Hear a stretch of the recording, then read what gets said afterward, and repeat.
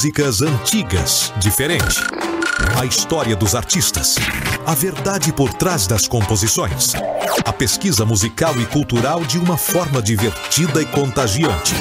Um momento especial, um hábito semanal. Programa Som Massa.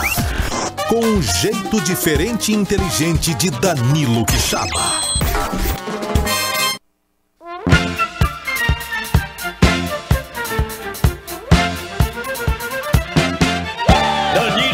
Quixaba. Olá, minha gente, muito bom dia. Tá começando mais um programa Somassa no ar na programação Rádio e TV Guará. Como é que vocês estão, hein? Aconchegados devidamente neste sábado pela manhã, mais um sábado com aspecto quase chuvoso, mas hoje amanheceu mais do que o normal, né?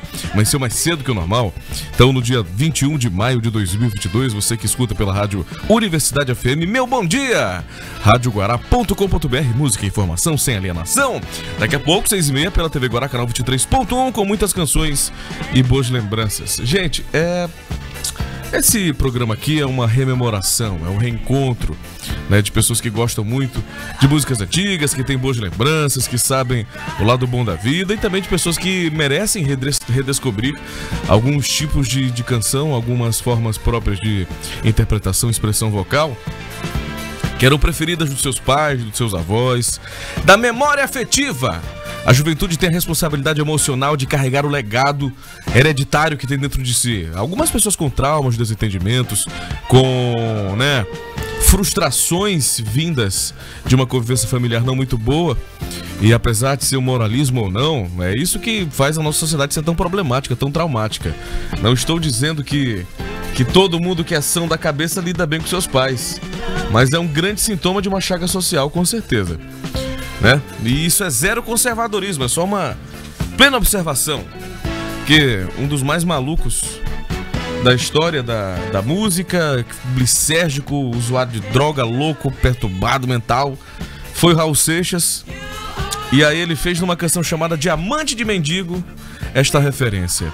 Quis ser doidão, fui pra todas as seitas malucas, bebi sangue de bode, fiz tudo, mas no final das contas o que eu sentia de saudade era da minha família. Era da sopa de mamãe.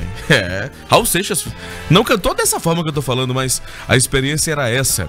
Na música Diamante de Mendigo, que eu vou tocar daqui a pouco no Som Massa, não agora, porque agora eu quero acarinhar suas lembranças, suas memórias afetivas. E vez ou outra a gente se pega roubado pela vida em um complexo de viver uma situação temporária e aproveitar e pensar no seu futuro e na responsabilidade emocional, às vezes até financeira.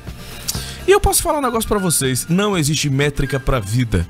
Às vezes as pessoas te apresentam fórmulas, te dizem o que é correto, te pautam de uma forma, sabe, tão rígida e tem mil conselhos pra te dar com formas que não se encaixam dentro da sua existência.